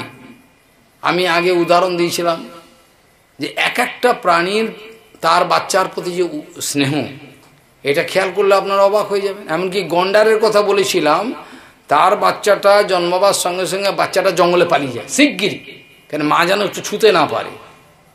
এটা ভগবানের সৃষ্টি। পালিয়ে চলে গেল, সাত দশ দিন পরে শরীরটা শক্ত হয়ে গেল, তারপর ফেলো কেন মা তো চাটবে? আর গন্ডারের জীব হলো হচ্ছে, চাটার সঙ্গে সঙ্গে বাচ্চা মরে যাবে। ও তো চাটবেই, ও তো স্নেহ। বাচ্চা যখন জন্মায় গন্ডারের, অত্যন্ত পাতলা চামড়া থাকে। মা যেই একবার চাটবে, বাচ্চা ফালা হয়ে কেটে বাচ্চা মরে যাবে। সেই জন্য ভগবানের এমনই সৃষ্টি জন্মাবার সঙ্গে তীরের বেগে দৌড়াবে জঙ্গলে। থাকবে না। একটা মুহূর্ত ফিরেও থাকবে না কে মা। আবার পরে সাত, দশ দিন, পনেরো দিন পর ঠিক চামড়া শক্ত আবার মাকে চিনে ঠিক আসবে তার কাছে। আর মাটাও চিনতে পারে, এটা আমার বাবা, এইটা আমার মা। কি আশ্চর্য ভগবানের তা অবাক কাণ্ড, কি করে এটা হয়? তাহলে এখানে নৃসিংহদেব তো ভগবান সাক্ষাৎ, তিনি আদর করেছেন, এই আর বড় কথা কি আছে? ভগবান সাক্ষাৎ সবার প্রতি তার প্রীতি। প্রহ্লাদ মহারাজ এবার নৃসিংহ ভগবানের কাছে যেসব স্তব করেছেন, সেগুলো কিছু আমি আলোচনা করব, অল্প। বেশিরভাগই পড়ে যাব, আলোচনা বেশি করতে পারব না, সময় অল্প। সেখানে বলছেন, প্রহ্লাদ মহারাজ বলছেন, খালি শুনে যান, শুনে গেলেও মঙ্গল হন সে প্রহ্লাদ ওয়াজ ব্রহ্মাদয় সুরগণা মনয়থ সেদ্যা সত্যৈকতানগত বচসাম প্রবাহী। নারাধিতুম পুরগুণৈর রধুনাপি পিপ্রু কিম তষ্টুমর্হতি সৌমে হরিরুগুর জাতে। मन्ये धना तपः श्रुतौ यः अस्ति यः प्रभावबलपौरुषो पौरुषो बुद्धियोगा नाराधनाय हि भवन्ति परस्व पुंसो भक्ता तुतोस् भगवान् गजजूथोपाय। विप्राद्दिशरगुणयुतात् अरविन्दनाभो पदारविन्दविमुखात् विमुखात् सपचम्बरिष्ठम् मन्ये तदर्पितमनोवचने अहित्वार्थो प्राणम् पुनाति स মনোবচনে অহিত্বার্থো প্রাণম পুনাতি স কুলম ন তু হুরিমান নৈবাত্মনো প্রভুরয়ম নিজলাভপূর্ণ মানম জনাদ অবিদুষো করুণো বৃণীতে যদ যদ জনো ভগবতে বিদধীত মানম তচ্চাত্মনে প্রতিমুখস্য যথামুখ শ্রী এইভাবে পরপর খালি নাহম বিভেমিতে অতি ভয়ানকস্য জিহ্বার্ক নেত্র হুকুটিরবস গ্রদংষ্টাৎ অন্তঃস্রজ ক্ষতজ কেশর শঙ্কুকর্ণাদ নির্হাদ ভীত দিগ্ভাদরি ভিন্ন নখাগ্রাত। তস্ত অস্মি অহম কৃপনবৎসল দুঃসহ গুরো সংসার চক্র কদনাদ গ্রসতাম প্রণীতম, প্রণীত বদ্ধ সকর্মভীরুষত্তম তে অঙ্ঘ্রিমূলম প্রীত অপবর্গ শরণম আহবয়সে কদানু। এইভাবে পর পর বলে যাচ্ছেন যস্মাৎ প্রিয়া, প্রিয় বিয়োগ সংযোগ জন্ম। যস্মাদ প্রিয়া, প্রিয় বিয়োগ সংযোগ জন্ম। শোকাগ্নিনা সকল জনিষুদজ্যমান দুঃখ সদম, তদপি দুঃখম অতধিয়া অহম। ভুমন ভুমামি বদমে তবদাসযোগম এইভাবে পর পর শ্লোকে যদি ব্যাখ্যা হয়, তো একেবারে আলোড়ন সৃষ্টি হবে। আনন্দময় এক একটা দিগন্ত খুলে যাবে। খালি এই প্রহ্লাদ মহারাজের এই প্রসঙ্গ আলোচনা করলে এক বছর কাজ প্রত্যেকটা ব্যাখ্যা করে করে অবাক হয়ে যাবে লোক। এইরকম দুরন্ত জ্ঞানের কথা অমৃত সাগর কিন্তু কেউ নিতে চাইছে না। বোকা লোকগুলো কেউ নিতে চায়নি। এইভাবে প্রহ্লাদ মহারাজ বলছেন, নৃসিংহদেবকে সিদ্ধ, প্রহ্লাদ মহারাজ ভগবানের পার্শ্ব। কিন্তু প্রহ্লাদ মহারাজ বলছেন দুঃখের সঙ্গে। আর বদ্ধজীব তাহলে কি বলবে? জিউ হই কত অচ্যুত বিকর সতী, মা বিতৃপ্তা। সৃষ্ণ অন্নত হস্তক উদরম শ্রবণম কুতশ্চিত ঘ্রাণ অন্নত হশ্চপলদৃক্ক চ কর্ম শক্তি। শক্তির বহব সপত্ন ইব গৃহপতিম লুণন্তি। যেমন ধরেন, একটা ব্যক্তির যদি বহু পত্নী থাকে, লুট করে তাকে, সেরকম হে ভগবান, আমার জিহ্বা একদিকে যাচ্ছে, চক্ষু একদিকে আমার টেনে নিচ্ছে, কান একদিকে টেনে নিচ্ছে, আমার ইন্দ্রিয় সকল আমার বসে নাই। প্রভু, আপনি দয়া করুন। প্রায়েণ দেব মুনয় সবিমুক্তি কামা। মৌনম চরন্তি বিজনেন পরার্থনিষ্ঠা নৈতান বিহায় ক্ষিপনান বিমুমোক্ষ এক নান্যাম তদস্য শরণম ভ্রমত নুপসে। নৃসিংহদেবকে বলছেন, প্রভু, আপনি ছাড়া কাউকে তো আমি গতি দেখতে পাচ্ছি না। এই যে ছেলেগুলো রজতম গুণেতে অভিভূত অসুর বালক, এদের গতি কি হবে প্রভু? আপনি আমাকে কৃপা করতে চাইছেন? আমি তো কৃপা অলরেডি পেয়েছি। নারদজি তো কৃপা করেছে। নারদজির কৃপা করা মানেই তো আপনার কৃপা। তো এই অসুর বালকগুলোকে যদি আপনি কৃপা করেন, তাহলে বুঝব আপনার সত্যি আমার প্রতি ভালোবাসা আছে। প্রায়ণ প্রায়ণ দেব মুনয় হে দেব, প্রায়ণ দেব মুনয় সবই মুক্তি কামা মৌনম চরন্তি বিজনীন পরার্থ নিষ্ঠা। নিজের মঙ্গলের জন্য প্রায় দেখা যায় সাধুরা জঙ্গলে চলে যায়। গিয়ে বলে, সংসারের দরকার নেই, আর চুপচাপ বসে ভজন করেন। আমাদের গৌরীয় ভজনের এইটি বৈশিষ্ট্য যে নিজে ভজন করতে হবে, আবার অন্য সবাইকে রাস্তা দেখাতে হবে। তা নাহলে আজ আমি বসে বসে হরিনাম যেমন বৃন্দাবনে করতাম, সূর্যকুণ্ডে।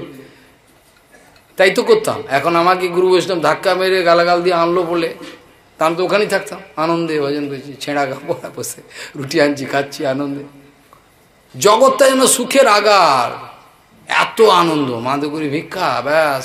ভগবানকে শোনাও আর নাই বা থাকল লোক, ভগবানকে শোনো। সুখ নেই তাতে, কত সুখ। তো দেখা যায় এইটাই, প্রায়ণ দেব মুনয় সবিমুক্তি কামা মৌনম চরন্ত বিজনেন পরার্থনিষ্ঠ। আর নৃসিংহ প্রহ্লাদ মহারাজ বলছেন, আমি তাদের মতো এরকম স্বার্থপর নয়। হে প্রভু, আমি তাদের মতো এরকম স্বার্থপর এই অসুর বালকগুলো এদের কি গতি হবে? আপনি যদি কৃপা না করেন। প্রায়েণ দেব মুনয় সবিমুক্তি কামা মৌনম চরন্তি বিজনীন পরার্থনিষ্ঠা নৈতান বিহায় কৃপনান বিমোক্ষ একো নান্যম তদস্য শরণম ভ্রমত নুপসে এই আলাত চক্রবত জন্মমিত্রের যে চক্র চলছে, এতে অসুর বালক যে অবস্থায় পড়েছে এই যে ছেলেগুলো, এদের তুমি ছাড়া আর কেউ তো পারবে না প্রভু। তোমাকেই করতে হবে। তারপরে প্রহ্লাদ মহারাজকে নৃসিংহদেব বললেন, তোমার জন্য আমি এসছি, আর তোমাকে বর্ণিত হবে, বর্ণাও। প্রহ্লাদ মহারাজ কেঁদে ফেলছেন, বলছে, প্রভু, একে তো আমি এমনি অসুর কুলে জন্ম, বৈষ্ণবের দৈন্য দেখুন। হরিদাস ঠাকুর বলছে, আমি মুসলিম কুলে জন্ম, সনাতন বলছে, আমি নিচু সঙ্গ করেছি। ওরা তো ভগবান নিজে জন, ওরা দৈন্য করছে। আর এখানে প্রহ্লাদ মহারাজ কেরাম বলছেন, বলছে, আমি একে অসুর কুলে জন্ম, প্রভু। রজস্তম প্রকৃতি আমার ভাব। আপনি আবার বর্ণাও বলে প্রলোভন দেখাচ্ছেন, এটা তো ভালো কথা নয় প্রভু। মা মাং প্রণবত্যাসক্তম কামেশু তৈর বরই একেই তো উৎপত্তিতে আমার যে উৎপত্তির দোষ। বৈষ্ণবের কোন উৎপত্তির দোষ হয়? যেতে কুলে বৈষ্ণব যে জন্মাক, সে ভুবন পাবন করে। প্রহ্লাদ দৈন্য করে বলছে। একে তো আমার উৎপত্তি দোষ আছে। তার উপর আপনি আবার আমাকে লোভ দেখাচ্ছেন বর্ণাও বর্ণাও তা আরও তো আমি অধপতন হয়ে যাবে। আমি কোথায় যাব? মা মাং প্রণবত্যাসক্তম কামেশু তৈর বরই আমি তৎসঙ্গ ভীতা নির্ভিন্ন, মুমুক মুমুক্ষুস্তম উপাশ্রিতা। আমি জগতের যা কিছু দেখছেন, দৃশ্যমান জগতের, এগুলো আমার তেতো হয়ে গেছে প্রভু। আর তাই জন্যই তো আপনার চরণে শরণাগত হয়েছি। আবার আপনি বলছেন, বর্ণ, তা আমি কোথায় যাব তখন? আর আপনি আমার নিরুপাধিক প্রভু। আপনার সেবা করতে গিয়ে আমি কিছু ব্যবসাদারি করি নাই। প্রহ্লাদ মহারাজ বলছেন, প্রভু, আপনি আমার নিরুপাধিক স্বামী, আমি আপনার নিরুপাধিক বৃত্ত তা আমাদের মধ্যে লেনা দেনা কিছু নেই। বলো দেখি, ঈশান ঠাকুর কত মায়না নিয়েছিল চৈতন্য মহাপুর সেবা করে। ঈশান ঠাকুর যে ছিল, ঈশান ঠাকুর ছিলেন তো সারা জীবন চৈতন্য মহাপুর ওই গৌরাঙ্গের বাড়িতে। ওই সচিমা বিষ্ণুপ্রিয়া সারা জীবন খাটান। কত পেমেন্ট নিয়েছিল? নিরুপাধিক বৃত্ত ভগবানের পার্শ্বদ এখন প্রশ্ন হলো এই যে আমরা, আমি হচ্ছে আপনার নিরুপাধিক ভিত্ত আপনি নিরুপাধিক স্বামী আমাদের মধ্যে আবার এই সব আদান প্রদানের তো কোনো প্রসঙ্গ থাকতে পারে না প্রভু। তারপরে একটা সিদ্ধান্তের কথা, নৃসিংহদেবের সম্মুখে প্রহ্লাদ মহারাজ বলছেন, প্রভু, আমার পিতা আপনার ভক্ত বলে যে আপনি আমাকে মনে করছেন, আমার প্রতি বিদ্বেষ করেছে। আর বিদ্বেষের ফলে আপনি রেগে গেছেন। তাহলে আমার পিতার যে অসৎগতি যেন না হয়। দেখো, পুত্র কাকে বলে? সারা জীবন অত্যাচার করলে অসুর, বেটা।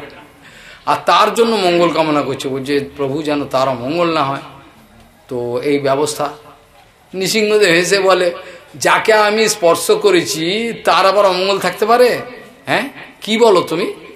যাকে আমি কোলে তুলে নিয়েছি, নিয়ে তাকে এ করেছি, উদ্ধার করেছি তার কি কোনো অমঙ্গল থাকতে পারে? আচ্ছা তোমার মতো ভক্ত যে কুলেতে আবির্ভাব হয়েছে, তার একুশ পিড়ি উদ্ধার হয়ে যাবে। প্রহ্লাদ নৃসিংহদেব বলছেন, যত্র যত্র চ মদভক্ত্যা প্রশান্তা সমদর্শিন সাধব সমুদা চারান চারান, চারাস্তে পুয়ন্তি ওপি কিকটা যত্র যত্র চ মদভক্তা প্রশান্তা সমদর্শিন সাধব সমুদা চারান চারাস্তে পুয়ন্তি ওপি কিকটা আমার ভক্ত যেখানে থাকে, সেই ঘরে যদি কীটপতঙ্গ থাকে, তাদেরও মঙ্গল হয়ে যাবে। নৃসিংহদেব পুয়ন্ত ওপি কি কটা? পোকামাকড় যদি থাকে, তাও যদি সেখানে যদি সেই বৈষ্ণব বসে বসে হরিনাম করে সেইটা মঙ্গল হয়ে যাবে। তাহলে বৈষ্ণবের প্রভাব দেখো। আর এখন আমার কথা হলো, তুমি যে এই কথাটা বললে, যে আমার বাবার যেন অসৎগতি না এটা তুমি কি কথা বললে বাবা? মদঙ্গ স্পর্শেন অঙ্গ লোকান যাসতি সুপ্রজাহা। আমার অঙ্গ স্পর্শ হয়েছে, আমি তো তাকে এরম উদ্ধার করেছি। তা তার অসৎগতি কী করে হবে? আর তুমি যে কুলেতে আবির্ভাব হয়েছ, সেই কুলেতে একুশ পিড়ি সবাই উদ্ধার হয়ে যাবে। একুশ পিড়ি এখন এই একুশ পিড়ি কথাটার মানে কে কি বোঝে? একুশ পিড়ি যে উদ্ধার হয়ে যাবে, অনেকে বলল তাহলে আমার বাবা পর বাবা থেকে আরম্ভ করে একুশ পিড়ি সব উদ্ধার, আর চিন্তা কি? মাতৃকুল পিতৃকুলে একুশ পিড়ি উদ্ধার হয়ে বিশ্বনাথ চক্রবর্তী বলছে এরকম একুশ পিড়ি নয়। তুমি যে যে জন্ম, যে যে মা বাবার কাছে জন্মগ্রহণ করেছ, তার সম্বন্ধে তোমার সেই তারা সব হয়ে যাবে। বিশ্বনাথ চক্রবর্তী বোঝা গেল? এইভাবে বলছেন, তো এইভাবে আশীর্বাদ করলেন প্রহ্লাদ মহারাজকে সিংহাসনে বসালেন। আর সিদ্ধান্তের কথা হলো, লোকে যে বলে সিংহাসনে বসো, সিংহাসনে বসে, এই সিংহাসন শব্দটা কোথা থেকে?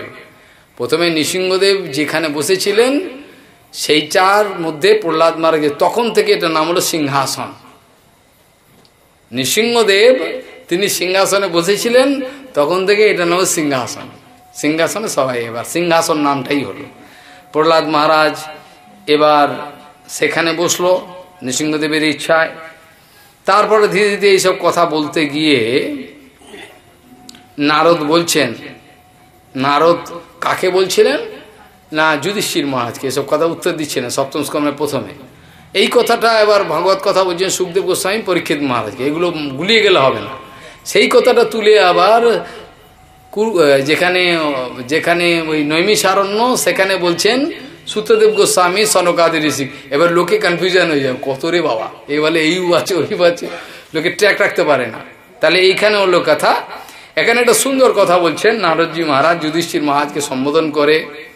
বলছেন, দেখো রাজন, তোমাদের মতো সৌভাগ্যবান কেউ নেই। বলে, কেন? বলছেন, জুয়ম নিলোকে বত ভূরি ভাগা, লোকম পুনানা মুনয় অভিয়ন্তি। যেসাম গৃহানা অবসতীতি সাক্ষাৎ গুরম পরব্রহ্ম মানুষলিঙ্গম। যুধিষ্ঠির মহারাজ, কে নারদজি বলছেন, জুয়ম নিলোকে বতভূরি ভাগা, রাজন তোমাদের মতো সৌভাগ্যবান তো কেউ নেই? জুয়ম নিলোকে বতভূরি ভাগা, তোমাদের সৌভাগ্যের সীমা নেই। কেন? তোমাদের ঘরে বড় বড় মনি ঋষিরা সব ছুটে যায়। কেন? বলছেন, লোকাং পুনানা মনয় অভিযান্তি। অভিযান্তি মানে মনের অভিষ্ট পূরণের জন্য যায় কি এমন আছে তোমাদের বাড়িতে? যে সাম গৃহানা অবস্থিতি সাক্ষাৎ গুর পরব্রহ্ম মানুষ লিঙ্গম আরেক জায়গা হচ্ছে সাক্ষাৎ গুরব সাক্ষাৎ গুরম পরব্রহ্ম মানুষ্যলিঙ্গম যে সাম গৃহানা বসতেতি সাক্ষাৎ যে যাদের বাড়ি, যাদের ঘরেতে সবসময় কৃষ্ণ এসে থাকে, পিসিমার বাড়িতে থাকে কৃষ্ণ, যুধিষ্ঠির মহারাজ, পঞ্চপাণ্ডব, এদের সবাইকে নিয়ে, তাই তো? তাই যে বলছে, তোমাদের মধ্যে ভাগ্যবান কেউ নেই। কৃষ্ণ তোমাদের ঘরে এসে থাকে, প্রায়ই তোমাদের বাড়ি চলে আসে পিসিমার বাড়িতে, আর তখন মুনু ঋষি সব এসে ওখানে ভিড় লাগায়। ওইকে ডাকতে হয় না, সব এসে ভিড়, কেন কৃষ্ণ আছে বলে? তো তোমাদের মতো সৌভাগ্যবান কেউ নেই। এরপরে নারদজি মহারাজ, যুধিষ্ঠির মহারাজ কাছে ব্রহ্মচর্য, সন্ন্যাস, গৃহস্থ আশ্রম, সমস্ত বিষয় এইসব বর্ণনা করেছেন। বর্ণনা করে অনেক কিছু করার পর বলছেন, অনেক কিছু কথা আছে এর মধ্যে। আর ব্রহ্মচারী কীভাবে জীবনযাপন করবেন সে সম্বন্ধে একটু বলা উচিত। সেখানে বলেছেন, এটা না বললে হয় না, এটা আলোচনা করা দরকার। বসে বর্তমান যুগেতে ব্রহ্মচারী জীবনযাপন কেমন হবে? বলে ব্রহ্মচারী বসন গুরুকুলে দান্ত গুরুর হিতম। আচরণ দাসবৎ নিচ গুরৌ সুহি সুদৃঢ় সৌহৃদ। গুরুর সঙ্গে, গুরুদেবের সঙ্গে সুদৃঢ় সৌহার্দ্য স্থাপন হয়ে গেলে ভালো। আর যদি না হয়, তাহলে কিছু করার নেই। ব্রহ্মচারী কীভাবে গুরুকুলে বাস করবে? বলে শান্ত দান্ত।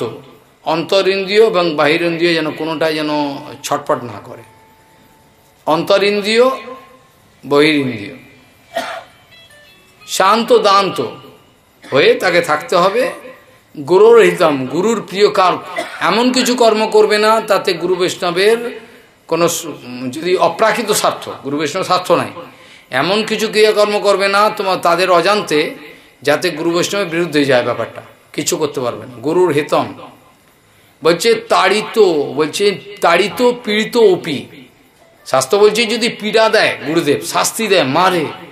তাড়িত, পীড়িত ওপি তথাপি গুরুর হিত হিত হিতকর্ম করতে হবে। যদি যদি পানিশমেন্ট যেমন যা আমরা দেখি মহাভারতে এসব আছে। কীভাবে? উপমন্যুকে গুরুদেব বাইরের দৃষ্টিতে কিরম কষ্ট দিল, কি তথাপি উপমন্যু কিছু মনে করল না। তখন তার জ্ঞান সিদ্ধি হলো। গুরু বৈষ্ণব যদি কষ্ট হচ্ছে, অতএব পালিয়ে যাই। তাহলে আর কি গুরু বৈষ্ণব কিচ্ছু হবে না। সেই জন্য বলছেন, ব্রহ্মচারী গুরুকুলে বসন দান্ত গুরুর হিতম, আচরণ দাসবাদ নিচ গুরৌ সুদৃঢ় সৌহৃদ গুরৌ, এখানে এই গুরৌ এই শব্দের দ্বারা, গুরৌ এই শব্দের দ্বারা এক বচন বলা নেই। এর দ্বারা দীক্ষাগুরু, শিক্ষাগুরু দুনোর কথা ধরে নেবে। গুরু বলা আছে। তাহলে দীক্ষাগুরুকেও ধরতে হবে শিক্ষাগুরু দুটো, এই জন্য এখানে দেয়া আছে গুরু দ্বিবচন। আর আরও অনেক কথা, কঠিন কথা, এসব বলে পাগল হয়ে যাবে ওরা। তো আমি আর বেশি বললে লাভ নেই। তাহলে দাসবত নিচ মনে করবে নিজেকে আমি দাসানু দাস এটা বানানো কিছু নয়। এটা একদম বাস্তব অনুভব রাখতে হবে। আমি একটা আমি একটা, আমার কোনো মূল্য নাই। আমি দাস। আমি চাকর যেরম সেরকম। এই অনুভব রাখতে হবে, তবে তার গুরু বৈষ্ণবের সেবা হয়। কিন্তু গুরু বৈষ্ণব মনে করেন গুরু। গুরু বৈষ্ণব সে ভাবনা হচ্ছে ঠিক উল্টো। উনি যে সেবা করে সে মনে করবে আমি দাসবধ নিচ্ছি আর যিনি সেবা, যাকে বাহ্য দৃষ্টি তা তো সেবা নেওয়ার দরকার না। নাদু গুরু করে জীবনযাপন করুন। যদি কোর জোর করে করে কোনো পরিস্থিতিতে, সে মনে করবে এরা সব আমার গুরু। কখনো শিষ্য মনে করে না। এই উভয় পক্ষের এই দর্শন আর প্রমোদা গাথা কোনো স্ত্রী সঙ্গ কোনো রকমভাবে ছবি থেকে আরম্ভ করে কোনো প্রাণীর, কোনো মৈথুন, কোনো কিছু ব্রহ্মচারী যেন না দেখে। নিষেধ। আট প্রকারের সব আছে, আমি আর সব আলোচনা করব না। নারজি মহারাজ বলছেন, ব্রহ্মচারীর কত কত রকমভাবে পালন করতে হবে। যদি একবার কোনো একটা ভাবে সন্ন্যাস ব্রহ্মচারী মানে হলো, ব্রহ্মচর্য মানে হলো আমি প্রতিজ্ঞা নিয়েছি। ব্রহ্মচর্য মানে কি? একটা প্রতিজ্ঞা তো। আমি গুরুদেবের সঙ্গে প্রতিজ্ঞা আমি ব্রহ্মচর্য পালন করব। কায় মনোবাক্যে তার যদি ব্রেক হয়, তাহলে তো সর্বনাশ। তথাপি কলিকালে মানুষে পাপটা একটু একটু কম, একটু প্রভাব। কিন্তু কায় মনোবাক্যে এসব বলা আছে। আর যদি কোনো রকমভাবে স্ত্রী প্রসঙ্গে এসে যায়, তাহলে তাকে তার ব্রহ্মচর্য বেশ ফেলে দিতে হবে। সন্ন্যাস বেশ। এই কথা যেন প্রত্যেকের কানে যায়। তাকে সন্ন্যাস বেশ আর ব্রহ্মচর্য বেশ ফেলে দিতে হবে। যদি আবার ইচ্ছা হয়, তাহলে সেই তেজিয়ান বৈষ্ণবরা তাকে আবার মানসিক গঙ্গা বা কোনো জায়গায় নিয়ে গিয়ে আবার প্রতিজ্ঞা করাবে, আচমন করাবে, আবার সেখানে আবার সে লাল কাপড়, নীল কাপড় যা পড়তে চা পড়বে বোঝা গেল কি বললাম যদি সন্ন্যাস ব্রেক হয়, কোনো মতো স্ত্রী প্রসঙ্গ হয়ে হতেই পারে, ছুঁয়ে ফেলল। এমনি বাসে টামে যেন কোনো রকমভাবে ছুঁয়ে গেছে না না। কোনো রকমভাবে বাস্তবিক জন্য কোনো রকম হয়ে থাকে। তাহলে তাকে সন্ন্যাস বেশ লাল কাপড় সব ফেলে দিতে হবে। এটা যেন কানে ঢোকে। সন্ন্যাস বেশ তাকে ফেলে দিতে হবে, আবার তেজিয়ান বৈষ্ণব সাদা কাপড় পরে নেবে কিছুদিনের জন্য। পরে আবার সেই সন্ন্যাসীর সেই তেজিয়ান বৈষ্ণবে প্রার্থনা করবে, আবার প্রতিজ্ঞা করে সন্ন্যাস নেবে।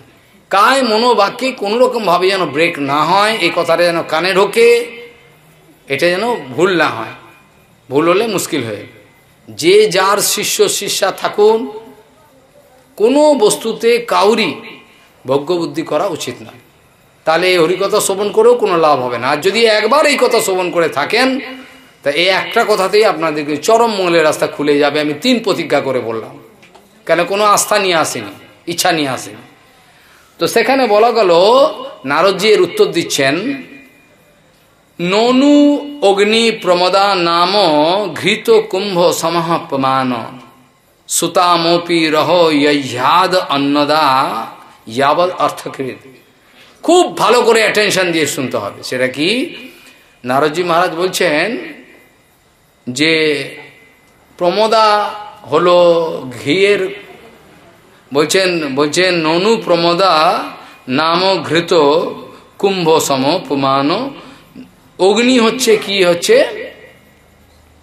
ঘৃতকুম্ভ সম পুমান আর অগ্নি হচ্ছে কি? তুলনা করেছেন নারী। সেটা বলছেন, ননু অগ্নি প্রমদা। প্রমদাকে বলা হয়েছে নিশ্চিত জেনে আগুন, আগুনের থেকেও বেশি। ননু প্রমদা অগ্নিসম নাম ঘৃতকুম্ভ সমপমান আর পুরুষ হচ্ছে ঘি, ঘিয়ের যেমন একটা পাত্র হয়, তো আগুনের সামনে ঘি রাখলে গলে যাবে। এই কাউর ক্ষমতা নেই। এই জন্য যে ঘৃতকুম্ভ সমপমান জেনে রেখো। সুতরাম একেবারে বিশেষ প্রয়োজন ছাড়া এখানে লেখা রয়েছে বলছে সুতামপি, নিজের কন্যা নিজের কন্যা মেয়ে। তার সঙ্গে লেখা রয়েছে সুতামপি রহ যঝাদ অন্নদা যাবৎ অর্থকৃত যতটুকু প্রয়োজন, ততটুকু ছাড়া নিজের কন্যার সঙ্গেও নির্জন জায়গায় থাকবে না। মায়ের সঙ্গেও নিষেধ, ভাগবতে বলা রয়েছে। তা কতখানি সন্তর্পণ হলে পরে সম্ভব হয়? হরিভজন চারটিখানি কথা নয়। এই কথাগুলো বলা উচিত যেন সবাই সাবধান হন। যারা সন্ন্যাস, আর যদি সন্ন্যাস বা ব্রহ্মচারী মতো নষ্ট হয়ে থাকে, তাহলে কপটতা করে কোনো লাভ নেই, আবার ফেলতে হবে। ফেলে আবার সাদা কাপড় পরে আবার নিতে হবে। তাহলে তাদের সেই সন্ন্যাসে কিছু হবে না। এই কথা যেন মনে থাকে। প্রত্যেক জায়গায় বিশুদ্ধ আচরণ ফিরে আসুক। চৈতন্য মহাপুর সেই নিমম চৈতন্য মহাপুর যেটা বলেছেন, সেটা জগদানন্দ পণ্ডিত সুন্দর বলেছেন। এরা বলছেন যে লোক দেখানো গোড়া ভাজা তিলক মাত্র ধরি, গোপনেতে অত্যাচার গোড়া ধরে ছুরি। গৌরাঙ্গ মহাপ্রভু বলেছেন, যদি প্রণয় রাখিতে চাও গৌরাঙ্গের সনে, ছোট হরিদাসের কথা থাকে যেন মনে। যদি প্রণয় ভালোবাসা রাখতে চায় চৈতন্য মহাপুর সঙ্গে, বৈষ্ণবদের সঙ্গে, তাহলে ছোট হরিদাসের কথা থাকে যেন মনে। ছোট হরিদাসের কথা যেন কানে থাকে, মুখস্থ থাকে। তাহলে তোমাদের গৌরাঙ্গের সঙ্গে প্রীতি হবে, নালে যে যার মতো রাস্তা দেখো আর বেশি ভিড়ের দরকার নেই। সারা জীবনে এই দু একজন বুঝতে পারে সেই যদি যায়, মৃত্যুর পর আমি সেটি আনন্দ পাব। এই হচ্ছে কথা। মঠের মধ্যে অত্যন্ত কঠোর শাসন আমাকে করতে হতো, সেই জন্য কেউ মেনে নিত না। কঠোর। কোনো ব্রহ্মচারী, সন্ন্যাসীর সঙ্গে কোনো বিদেশিনী, নারী, কোনো রকমভাবে কথা বলতে পারবে না। আমি ওপর থেকে দেখলেই হলো। এরকম করলেই সব দৌড়ে পালাবে। এক ভয়ে। আর কেউ মেনে নেবে না, কেউ শুনবে না বর্তমান যা যুগ হয়েছে, মর, যা পারিস কর। ছেড়ে দিয়েছি, মর। এত বাঁচাবার কি দরকার? মূর্তি যখন চাস, মর। এখন আমাদের প্রসঙ্গ চলে আসছে শ্রী শ্রীমৎ ভাগবতী মহাপুরাণের সপ্তম স্কন্দ শেষ হয়ে আমরা এখন প্রবেশ করব অষ্টম স্কন্ধেতে। এর মধ্যে অনেক কিছু কথা ছিল টুকটাক। আমি সেগুলো আর অত আলোচনায় গেলাম না।